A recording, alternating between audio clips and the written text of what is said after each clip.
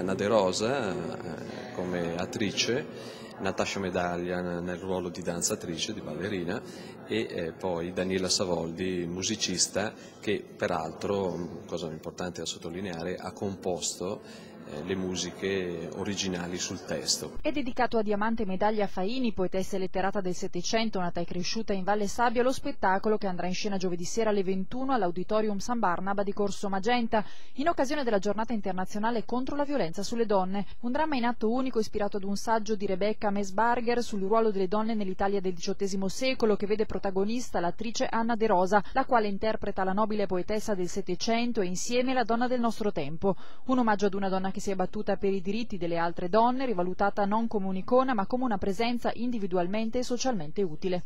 Sappiamo che è un problema veramente importante della nostra società va affrontato con serietà, ma va affrontato anche sapendo che all'interno, in particolar modo, delle istituzioni bresciane e delle associazioni bresciane c'è chi pensa e chi vuole aiutare queste donne. Un modo per ricordare che anche la negazione della cultura è una forma di violenza sulle donne perché le priva della loro dignità. Un messaggio di speranza per tutte le donne che anche nel nostro tempo e nelle nostre comunità vivono situazioni di emarginazione, solitudine e violenza. Forse per errori non solo da parte della donna ma anche da altri che hanno sfruttato alcuni aspetti della donna che eh, non sono in una visione olistica della persona.